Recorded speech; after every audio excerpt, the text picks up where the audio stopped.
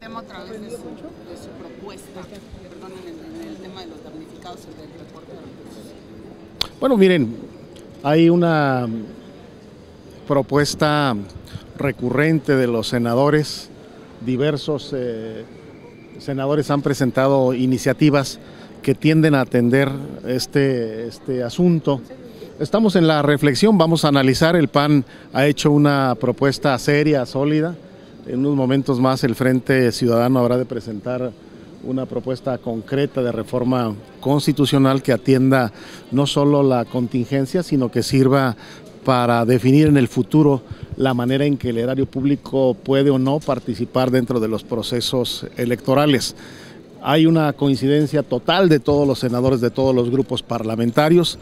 Todos estamos dispuestos a aportar para la contingencia que se ha presentado y esa es la motivación que mueve a la reflexión legislativa. Estamos en esa ruta. Senador, pero ¿por qué porque no haberlo hecho antes? ¿Por qué no renunciar a estas prerrogativas antes cuando también era un clamor ciudadano de que financiar o fondear a los partidos políticos cuesta muy caro en México? No, siempre es un buen momento cuando las circunstancias en la reflexión colectiva anuncian a una conducta eh, general. Creo que esta circunstancia que se ha presentado ha sensibilizado a los diferentes actores políticos, lo ha exigido la sociedad y qué bueno que se está actuando de esta manera. Senador, y en el paquete del 2018 que todavía no se aprueba, ¿habría posibilidad o margen de dar a lo mejor más dinero a ciertos rubros como educación, salud, que pues ahorita van a necesitar el dinero? Siempre hemos pugnado nosotros por una presentación distinta del presupuesto de egresos de la Federación. Si bien es cierto, es facultad de la Cámara de Diputados el integrarlo, revisarlo y hacerle correcciones, aún en la percepción pública y en la reflexión individual de los senadores, hay idea muy clara de que existe dispendio en diversos rubros. La propaganda gubernamental debe de reducirse, debe de hacerse un recorte en aquellas áreas que no sean específicas para el desarrollo del país.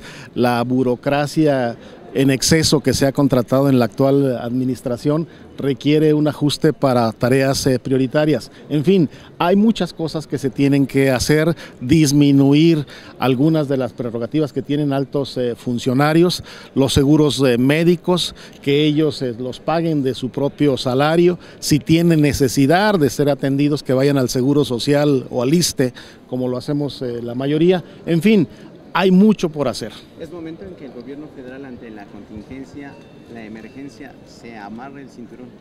El gobierno lo tiene que hacer, transparentar de manera eh, pulcra el uso del Fonden, que a todo mundo dé satisfacción y desde luego que se avance a aliviar los problemas que tiene la gente que ha entrado en desgracia. Oiga, creo que se requiere una reingeniería. En el caso, en el presupuesto actual piden 21% de incremento en el caso de combustibles aditivos y demás para todas las dependencias del Ejecutivo Federal. ¿Esto no, se, no podría este, realmente subsanarse? Pues hay diversos rubros en los cuales ellos están eh, priorizando su gasto. Yo confío en el ejercicio racional, inteligente que harán en la Cámara de Diputados para aprobar un presupuesto de egresos austero que sirva para cumplir con las metas del país y que evite el derroche que a ojos y a percepción eh, colectiva se está dando en el gobierno federal. Senador, en mayo pasado la Comisión Permanente solicitó a las 16 delegaciones un informe y también de alguna manera una advertencia de vigilar los inmuebles en la Ciudad de México tras irregularidades inmobiliarias, eh, de construcción sobre todo. Eh, parece que nada más contestó, de hecho nada más contestó, contestaron cuatro delegaciones y solamente una de ellas, la Azcapotzalco, pues detalló con profundidad las acciones que están haciendo.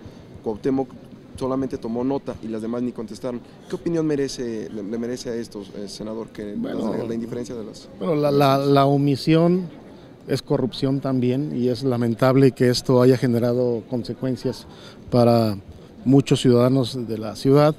Es eh, exigible a todas las autoridades que cumplan con su obligación. Podrán argumentar cualquier este, circunstancia para no estar cumpliendo, pero lo que es eh, lamentable es que la indolencia, la opacidad, la falta de compromiso se esté reflejando en este tipo de situaciones que estamos viviendo. Senador, ¿se tiene fecha para la glosa del informe?